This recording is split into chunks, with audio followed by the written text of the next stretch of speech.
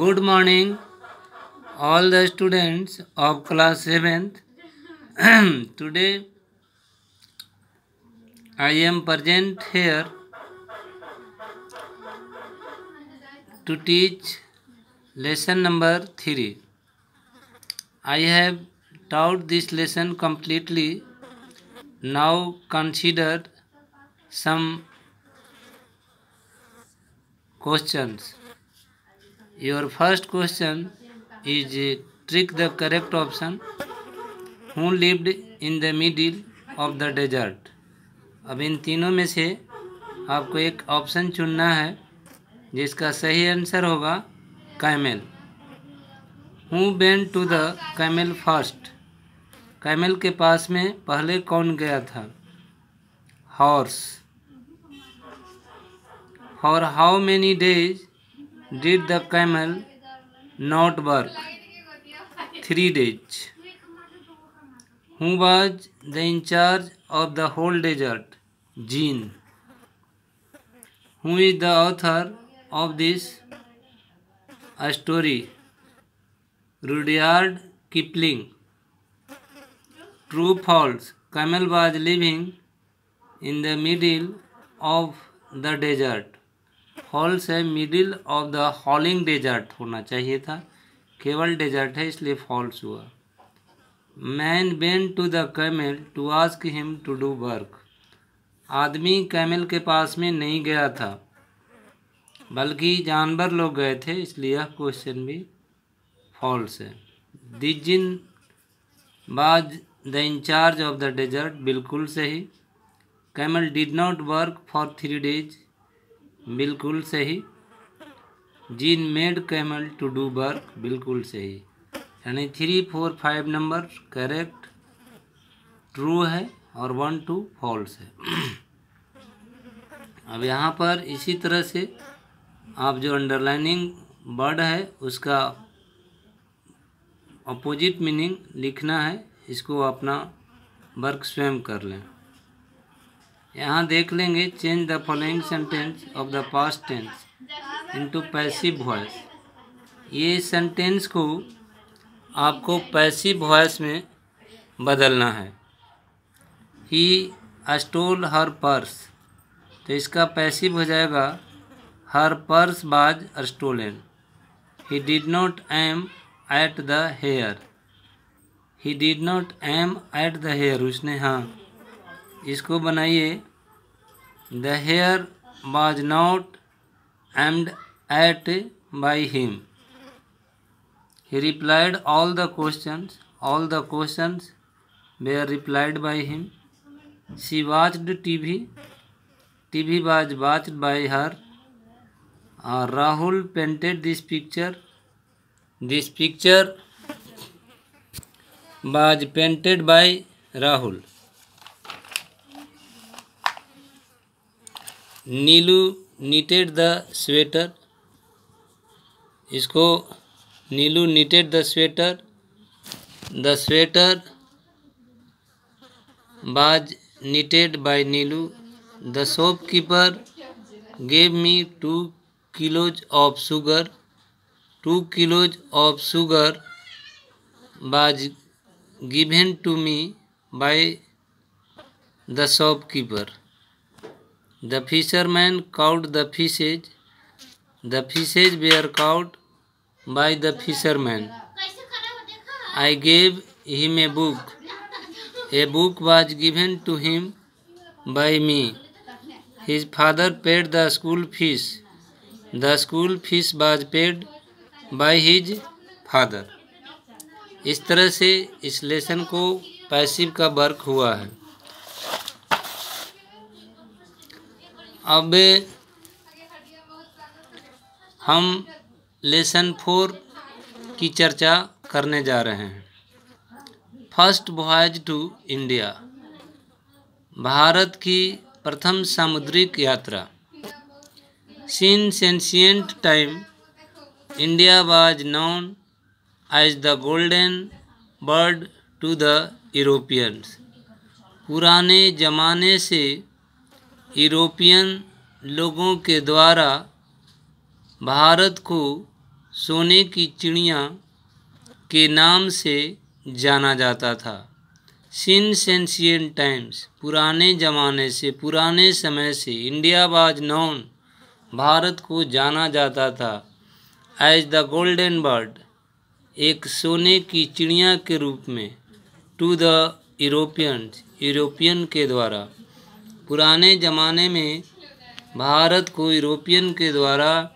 सोने की चिड़िया के नाम से जाना जाता था it was famous for its immense wealth यह अपने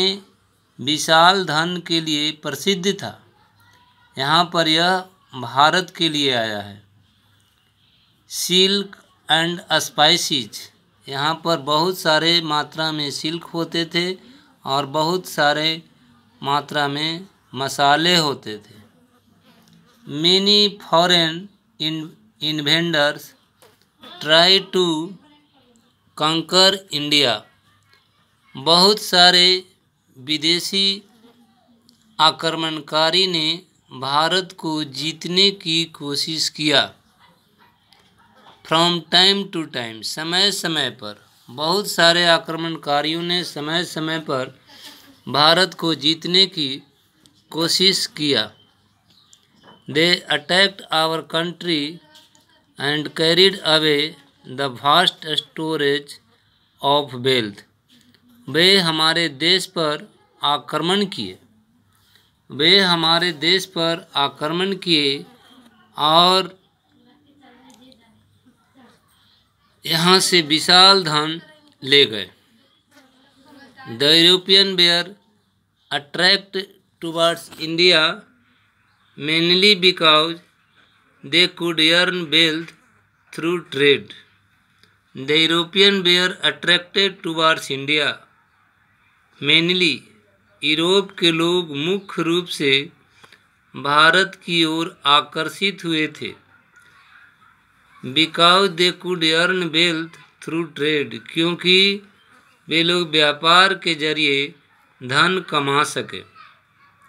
उन लोगों का मोटिव था कि यहाँ पर हम व्यापार करें और खूब धन कमाएं India was rich in spices Bharat धनों मसाले में धनी था merchants brought these spices across across the desert of Arabia to Europe and sold them at high profit. Merchant brought these spices. व्यापारी लोग इस मसाले को लाते थे अरब के मरुभूमि को पार करते हुए यूरोप में और उसे बहुत ऊंचे मुनाफे पर बेचते थे अरब के डेजर्ट द्वारा जो मेनली रूप से यूरोप के व्यापारी थे इसको लाते थे और उसे बहुत ऊंची कीमत पर बेचा करते थे king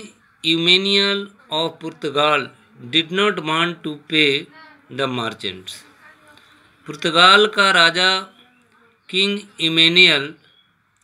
व्यापारी को पैसा नहीं देना चाहते थे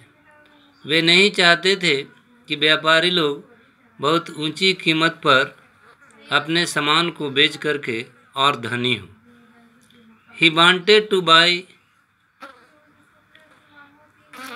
spices directly from India वे चाहते थे कि इंडिया से मसाले हम डायरेक्ट रूप में लाएं they wanted to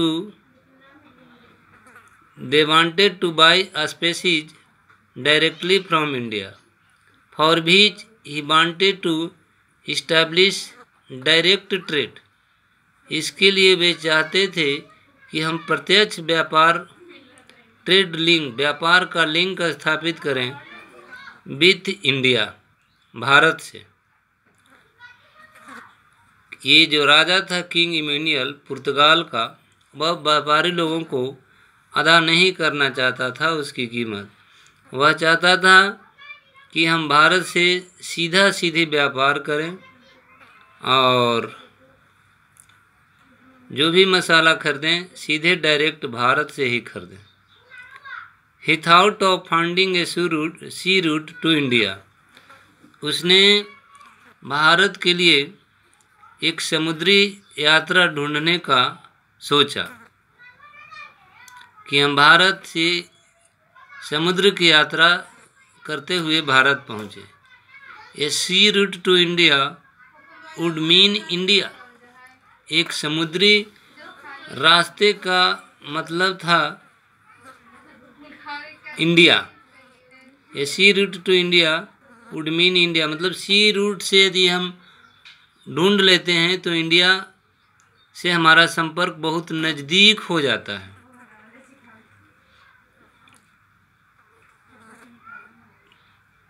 sorry a sea route to India mean a lot of wealth for Portugal sorry a sea route India का मतलब हुआ पुर्तगाल के लिए बहुत साधन it would made make them rich और यह उन लोगों को धनी बना देगा तो कुछ क्वेश्चन बच्चों आप लोग नोट करें पहला क्वेश्चन है What was called to India since ancient time? I hope this is very easy question. Why did many foreign invader try to conquer India?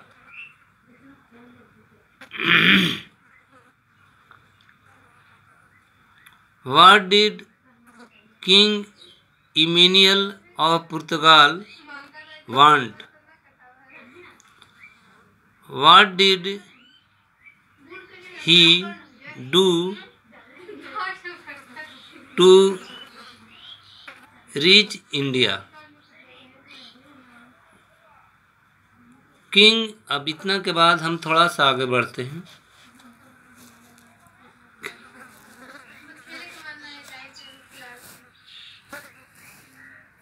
इतना के बाद थोड़ा सा आगे बढ़ जाते हैं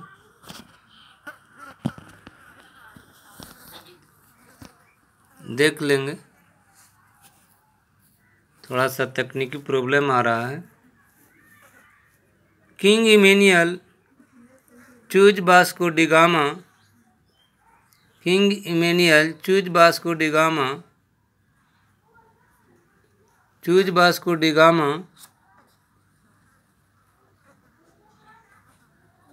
Vasco da Gama to command chose बास के to king Manuel chose Vasco da Gama to command the first Portuguese expedition to India king Manuel ने बास्को डिगामा को चुना कमांड के लिए the first Portuguese expedition to India प्रथम Portuguese की खोज के लिए इंडिया को मतलब बास्को डिगामा उसका कमांड करने के लिए चुना कि तुम इंडिया के सीरीट को खोज करो और बाकी हम अगले दिन आप लोग के सामने उपस्थित होंगे थैंक यू